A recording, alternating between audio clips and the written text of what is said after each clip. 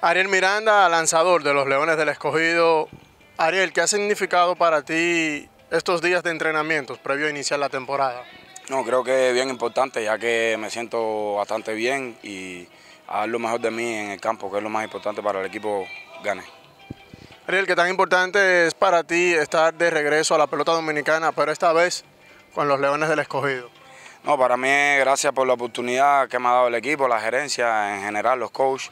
Estoy bien contento, bien contento y bien agradecido con la ayuda que me han dado y aportar mi granito de arena para ganar, que es lo más importante. Ariel, eres un lanzador experimentado. ¿Qué vienes a aportar a la causa roja? Creo que mi experiencia, mi experiencia y las ganas de, de ganar, las ganas de el hambre de competir es lo más importante para poder salir adelante. ¿Te sientes listo para el reto de contribuir a la causa de los Leones del Escogido que buscan su corona número 17 esta campaña? Sí, bien listo, bien listo. Como te dije, ya vinimos con un propósito que lo más importante es ganar el campeonato y siempre ready. ¿Qué tienes que decirle a la fanaticada escarlata de lo que vienes a contribuir?